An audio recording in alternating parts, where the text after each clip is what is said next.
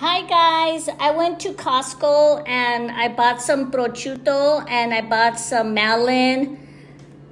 There's the melon, apple, papaya, cheese, and cran raisins.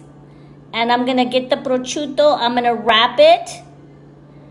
And I'm gonna wrap it in my fruit with my cheese and it's gonna be delicious.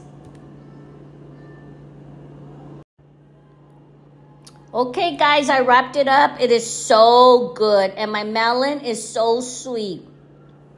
Look at that. Mm-mm-mm.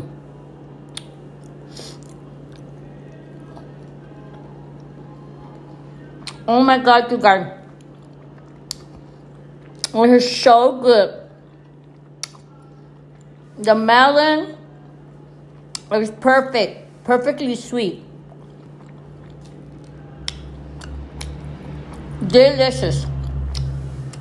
And I went to Costco here in Aguascalientes. I'm still here in Aguascalientes.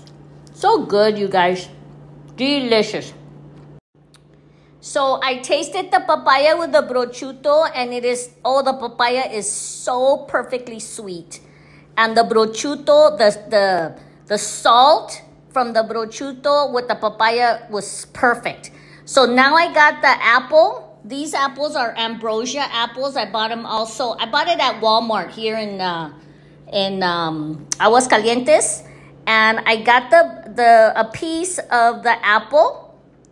There's my apple with the cheese. It's a slice of that cheese. It's Gouda cheese with wrapped in the prosciutto, and it is so good, you guys. It's perfect. The salt, the sweet Perfect. So, so good. Oh my God. Mmm.